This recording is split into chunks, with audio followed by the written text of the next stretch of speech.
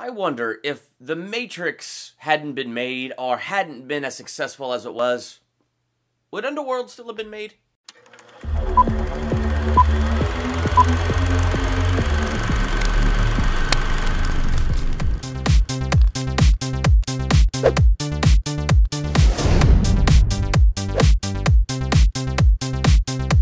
Welcome to Durbania. I'm Durbin, and I'm going to read way too much into Underworld, the first one with Kate Beckinsale. Yeah, this is such a guilty pleasure franchise for me. It's it's unreal, but I don't know. These are just movies that I watch, and they are so mindless to me that I can just let go and enjoy the vampire Lycan wars and action and fighting that is such a blatant Matrix ripoff that I don't even care that it's a blatant Matrix ripoff. I just sit there and enjoy it it's just a fun franchise to me. And so I'm watching back the first Underworld to do this reading way too much into, and I can't help but note that I really think Underworld is a true testament to the power of the grudge.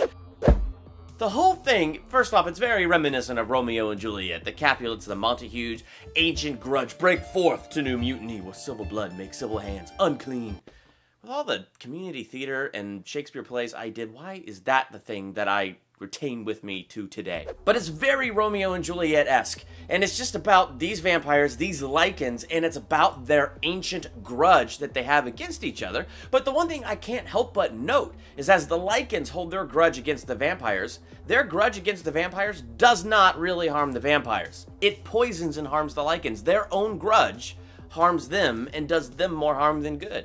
Same thing with the vampires, as the vampires hold their grudge against the Lycans.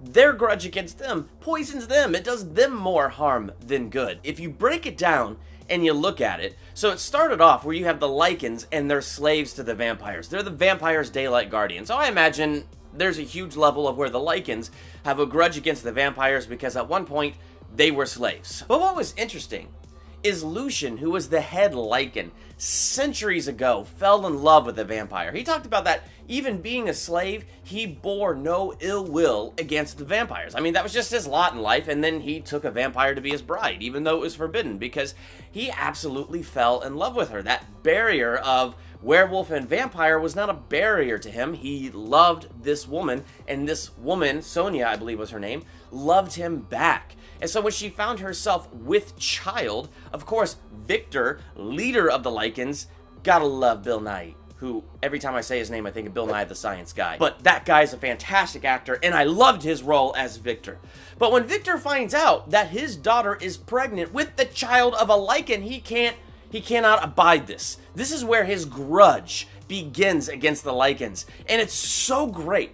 It is so bad that he kills his own daughter. He ties her to the stake, lets the sun shine on her, and she freaking burns up. And then, you know, of course, Lucian escapes and all that crazy stuff. And he's so angry at Viktor for killing the love of his life that he can never, ever let that go. And here's the thing about grudges, about bitterness, about unforgiveness it doesn't get weaker as time goes on. They say time heals all wounds, not this wound. Like that, when a when bitterness takes root, it is something that gets stronger with time. It progresses as time goes on. Maybe it gets to that point where you forget why you even held the grudge to begin with. You just know you can't stand that person. But here's one of the first instances where I see that a grudge with these two races has done more harm than good because they're blind.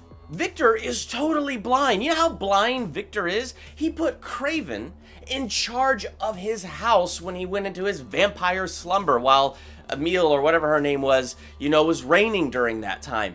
He put Kraven in charge. That sniveling, snot-nosed, weak-willed snot.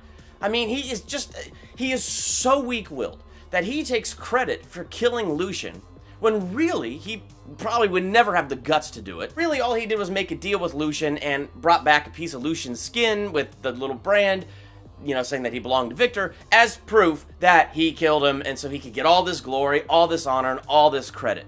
But you see, that's the thing. Viktor is smarter than that. Like, as I'm watching this movie, Viktor is smart. When you get into the prequel, Rise of the Lycans, Viktor is, he's smart, man. He is not an idiot.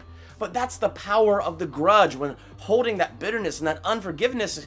It, it's, it's not like unforgiveness poisons the person you hate. It poisons you who's holding it. As Viktor is holding this grudge, the grudge is poisoning him. It's poisoning his judgment. So he doesn't even see that this little sniveling snot snot-nosed Kraven is lying to him. Instead, he trusts him, and he trusts him implicitly to the point that he put Selene down in one scene and said, Kraven's gonna take care of this because you broke the rules, Kraven did not. Yeah, granted, that all changes as the movie goes, but up until this point, we see that Viktor has this kind of trust in this little snot nose. I mean, my gosh! Then you got Lucian, who granted, whatever. I guess you do want to take advantage of a weak-willed person to use them for your coup or whatever. But you know, he wanted to go find the common ancestor, the direct descendant of the vampire and werewolf common ancestor, so that he could combine the DNA in both. And you know what? I don't know. Maybe there's a small part of him that wants to do it as a revolution, but I think really he just wants to do it to spite Viktor. You snuffed out my wife and child because it was a mixing of the bloods. Well, now I'm gonna mix the bloods, so ha! What do you think of that? He's trusting Kraven. He's trusting Kraven to not betray him, to to follow through, and and I don't know, but the guy is so weak-willed. He shoots, he shoots Lucian in the back. The first opportunity where he's like, okay, it's not going my way with Viktor. It's not going my way with Lucian. Okay, I'll just shoot Lucian now, and I'll run this other direction. And I mean, it got to the point where you had these two strong leaders, Lucian and Viktor, and they're trusting a snot-nosed little weasel because they are so blind by their grudges that this is what they're left with. And then you have Selene, who has spent centuries hating Lycans based on a lie, that the Lycans destroyed her family. So she spent her entire life absolutely blind and just bound by a grudge and mindlessly. You find out she's very smart too. I mean, throughout this whole movie, it's her figuring these things out. But for centuries, she's just blindly slaughtering Lycans for something that they never did. And it's just like, that is the power of the grudge. That's what the grudge does. It doesn't hurt the opponent, it hurts you as you hang on to the unforgiveness and the bitterness. And I've been there, I've been in those places where it's hard to let go of unforgiveness. I've had those places where it's really, really difficult. And I find when I get really mad and, and I imagine my vengeance, I find that it's really not them being poisoned by it. They're, they're off still having a good day. I'm the one that's suddenly miserable. I'm the one that's suddenly in a bad mood. I'm the one that is paying the price. I'm the one that's drinking the poison. That's what unforgiveness, bitterness, and that's what grudges do. So when you look at Michael in this movie, who ends up with both vampire and Lycan in him, and he becomes the perfect mixture of the two, Look at how powerful he is when he is that. I mean, at the end of this movie, he moves so fast you can't even see him move. He is a strong, powerful creature.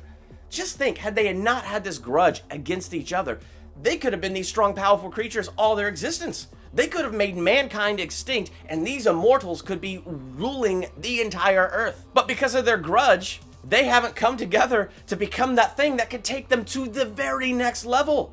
So they're not growing, they're not advancing to the next level. This bitterness keeps them embroidered in a war and keeps them in weaker versions of themselves rather than allowing them to grow and be stronger. And in my life, as I have that root of bitterness in me at times, I found there's one cure and that is to let Jesus come in and take care of that. I mean, who better to let come in and take care of that than the very guy who, as he was being nailed to the cross and people were killing him, forgave the very people that were killing him. Like, seriously, they're mocking him. They're putting nails in his hands and his wrists. They beat him to the point that you can't even recognize him.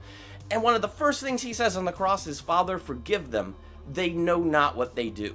So I found for me that first step into letting go of unforgiveness is to let His forgiveness come into my heart and let that kind of love work on me and surrender that unforgiveness to Him. Now, forgiveness doesn't mean jumping back into an abusive relationship, it doesn't mean you have to trust the person that you're forgiving. But it means letting go of that grudge against them, letting go of that anger, and it means stopping drinking the poison that's not hurting them, but is actually hurting you.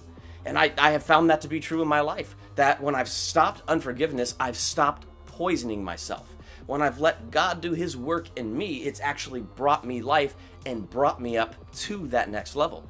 So when I watch Underworld, that's the picture I see. The power of a grudge to take two powerful supernatural forces and keeping those forces bound so that they're not getting stronger, they're getting weaker. They're not progressing to the next level, they're wiping each other out. So that's what I read way too much into when I watch Underworld. When you watch Underworld, what do you read into this movie? Make sure to let me know in the comments. While you're there, hit that subscribe button and become a Durbanian. We got Underworld Blood Wars, the latest one, just just around the corner here. Super excited for that. So hit that subscribe button so you can be on top of when that review gets released and, and check out all the other reviews I got here. So make sure you hit that subscribe button, be on top of it all. I'm Durbin.